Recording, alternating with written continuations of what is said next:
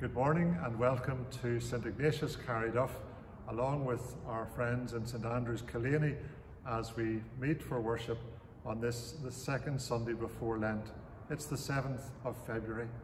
You're very welcome. Grace, mercy and peace from God our Father and the Lord Jesus Christ be with you all. And also with you.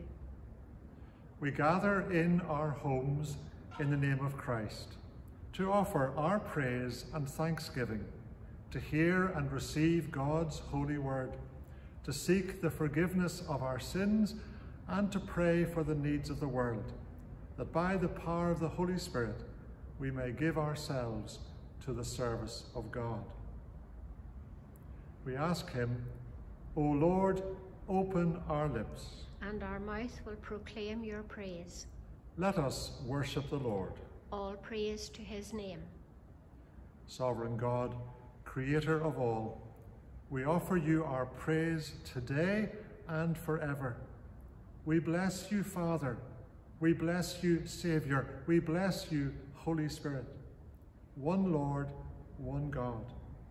May the light of your love always shine in our hearts, your Spirit ever renew our lives, and your praises ever be on our lips. Blessed be God, Father, Son, and Holy Spirit. Blessed, Blessed be, God, God forever. Our opening hymn is the hymn Before the Throne of God Above. Thanks and Praise, number 11.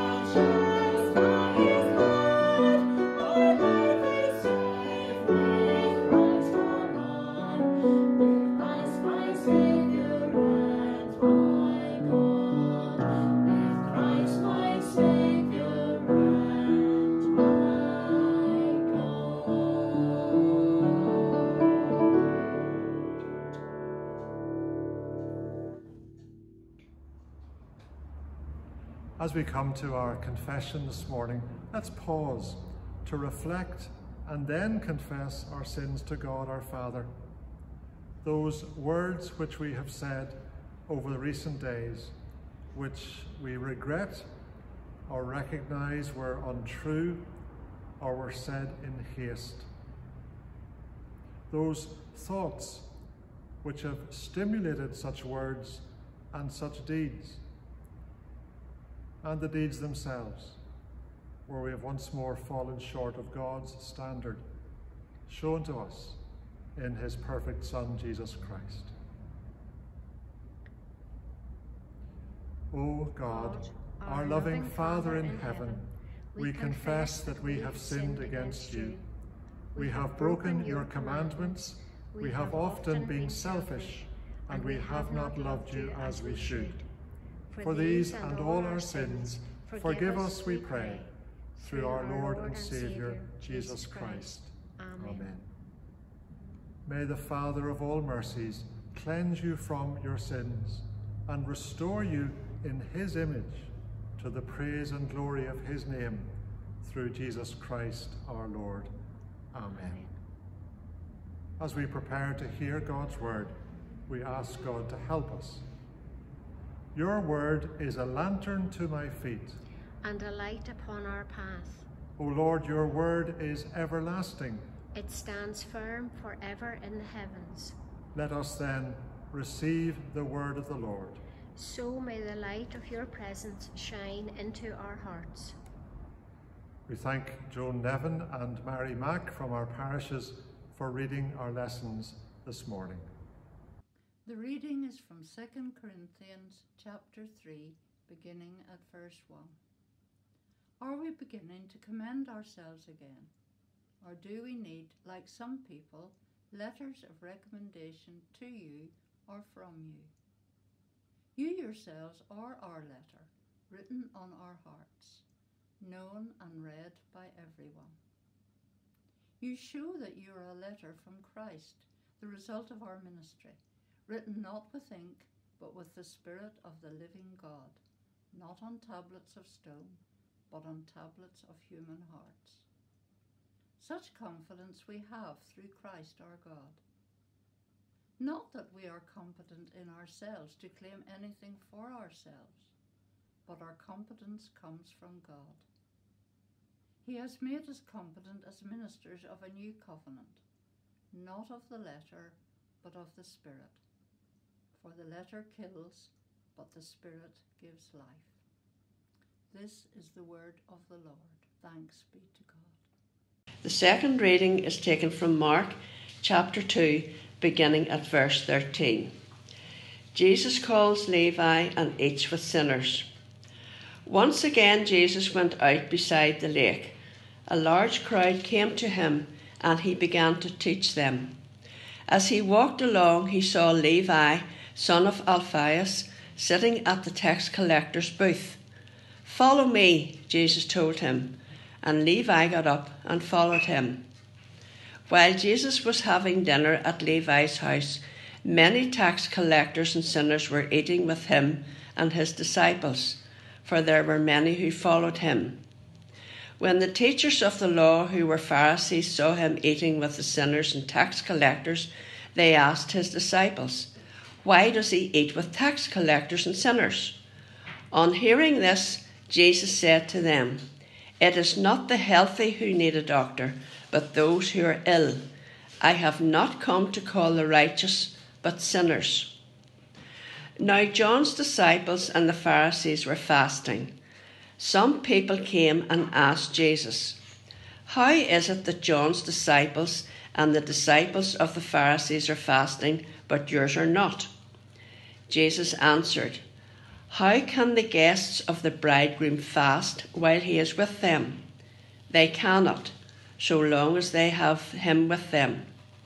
But the time will come when the bridegroom will be taken from them, and on that day they will fast. No one sews a patch of unshrunk cloth on an old garment. Otherwise, the new piece will be pulled away from the old, making the tear worse And no one pours new wine into old wineskins. Otherwise, the wine will burst the skins, and both the wine and wineskins will be ruined. No, they pour new wine into new wineskins. Love letters. I wonder, do you ever remember receiving one of those? We are a love letter from Christ. In our third round of spring cleaning during lockdown, we've all uh, taken a, a fancy to this during the times we're stuck in the house. I came across a pen which was given to me by my daughter. I remember her telling me that she was at Mont Blanc and on a holiday, and I jokingly suggested that she bring me a Mont Blanc pen home as a souvenir. I like fountain pens. For those of you who don't know, Mont Blanc pens are among the best and most expensive fountain pens you can buy. A cheap one is about 500 quid. Imagine my surprise when she came home from the holiday with a gift for me. And it was a Mont Blanc pen. Well, almost. It was not the real thing. It said Mont Blanc on the side of it, a gift from Chamonix. It wasn't quite as expensive, I'm glad to say. It was close, but not the real thing. And I was heartily relieved to see that she hadn't wasted her money. Can I make a confession here?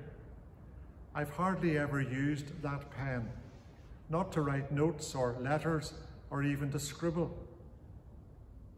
Recently, I received a few letters of thanks from a family, and I was struck by two things in those letters. First, the quality of the handwriting and the words chosen to say thanks.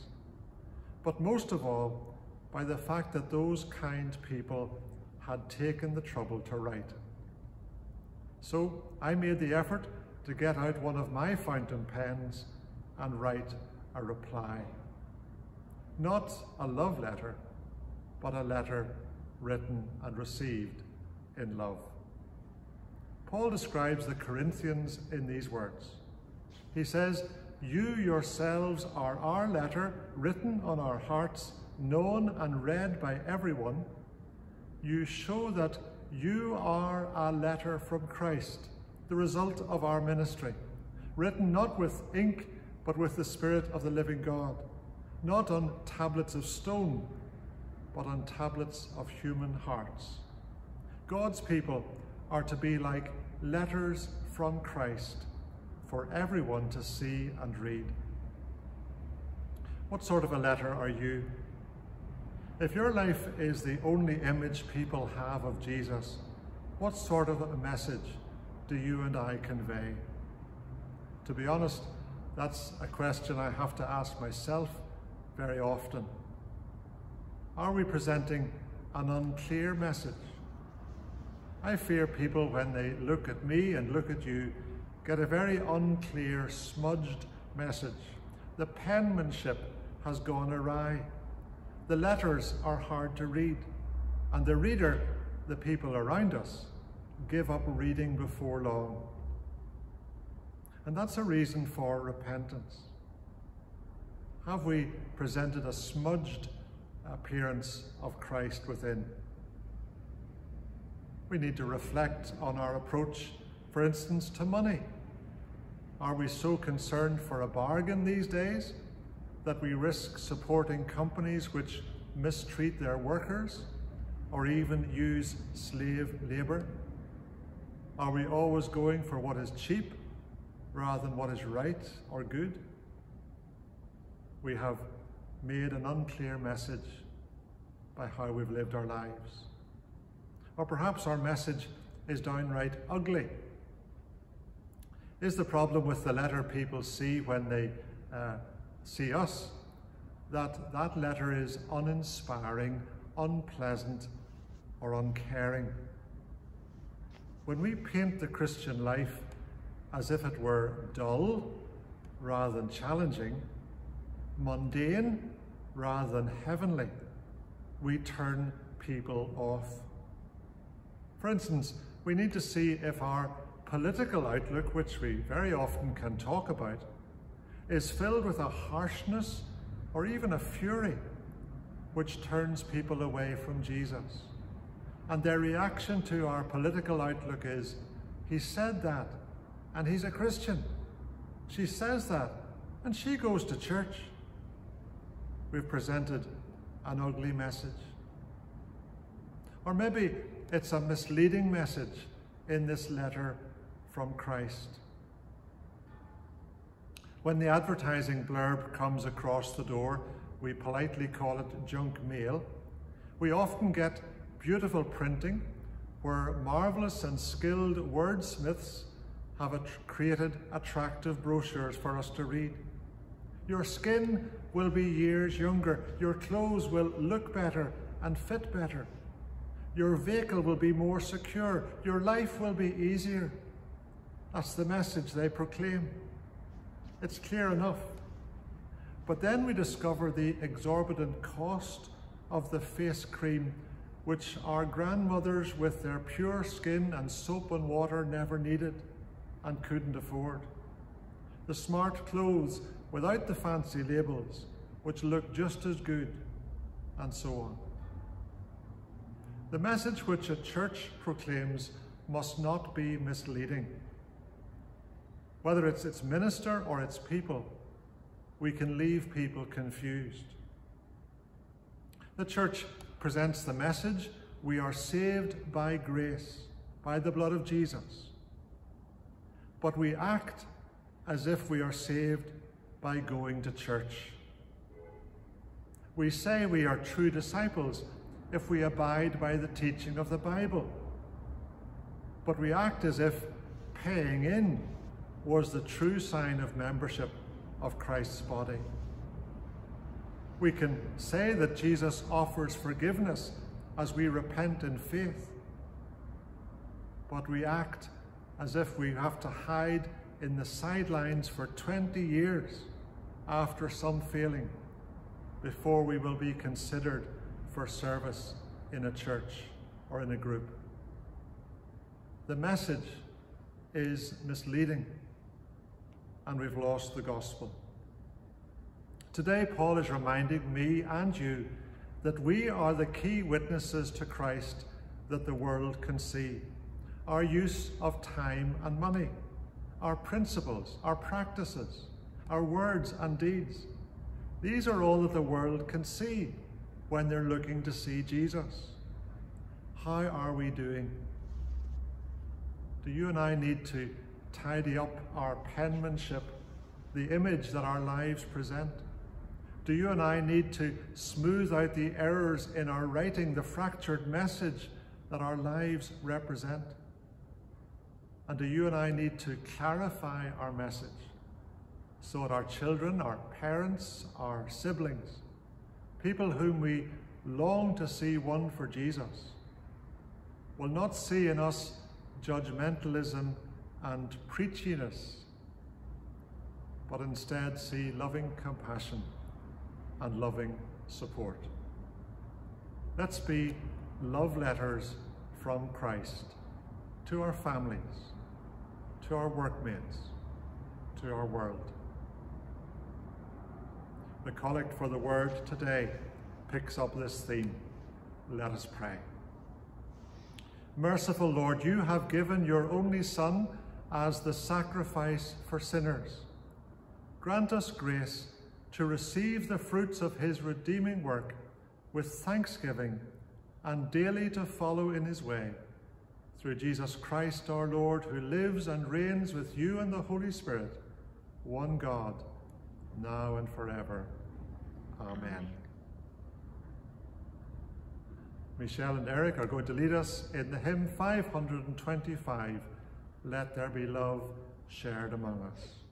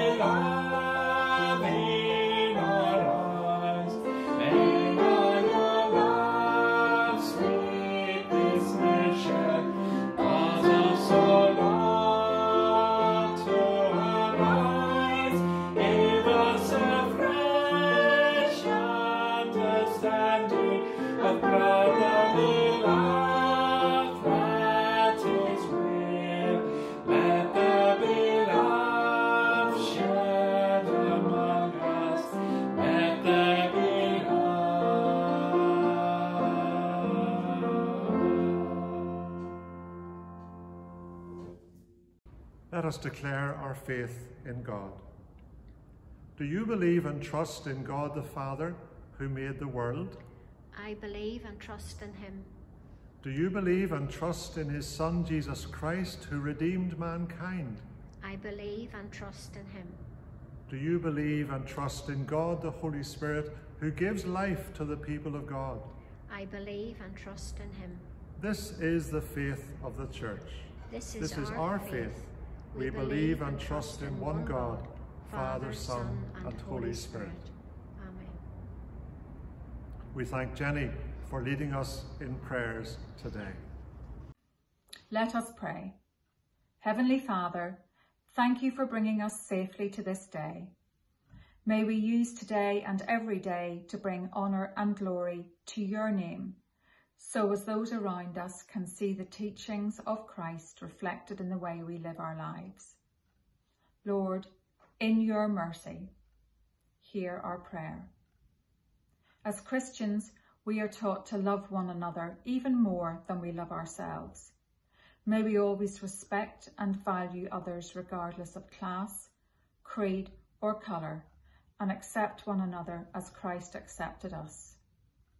Lord, in your mercy, hear our prayer. Lord, help us not only to ask for forgiveness for our own sins, but also to forgive those who sin against us, just as quickly and thoroughly as God in Christ forgives us. Lord, in your mercy, hear our prayer. During these difficult times, we pray for the elderly and vulnerable who feel isolated, lonely and anxious. Help us to give generously of our time to support and comfort them in any way we can. We also pray, Lord, for organisations such as the Larder, that they will get sufficient resources to help meet the needs of those who are finding it hard to feed their families. Lord, in your mercy, hear our prayer. As Christians, help us to remember the importance of prayer. As our lives continue to be disrupted by the effects of COVID-19, we pray for protection and healing for ourselves, our families, our church family and our friends. Let us also give thanks for the selflessness and dedication of doctors and nurses, teachers and their assistants, shop workers and delivery people, bin men and postal workers as they struggle to keep our society going. Lord, in your mercy, hear our prayer. Let us pray also for all those who are lost, hurting, sick and bereaved. Lord, send your comfort, peace and calming presence to all those who are without hope. Lord, in your mercy, hear our prayer. We pray for the Church of Christ, for David our Bishop, for Stephen, Marlene and Keith. Guide them, Lord, in all things, so as they may be an inspiration to us in our Christian lives. Lord, in your mercy, hear our prayer. And finally, Lord, open our eyes to your presence. Open our minds to your peace. Open our lives to your power.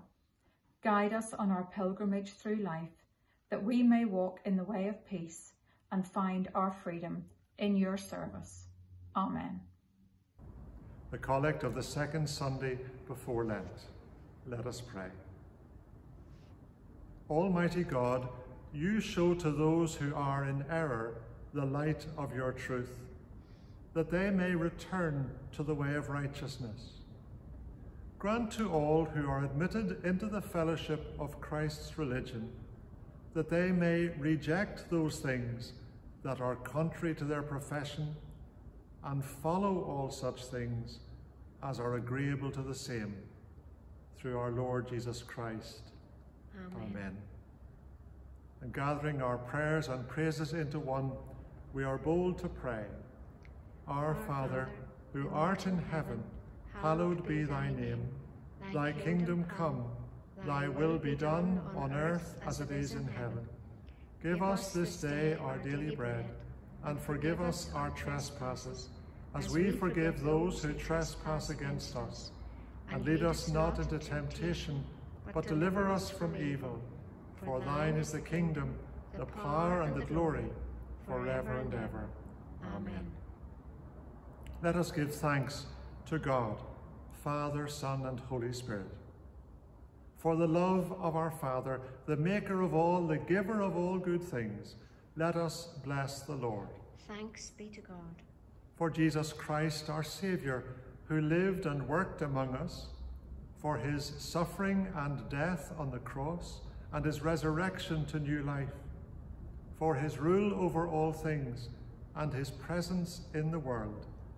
Let us bless the Lord. Thanks be to God.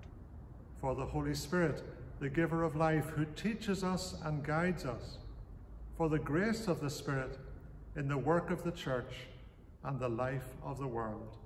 Let us bless the Lord. Thanks be to God. Amen.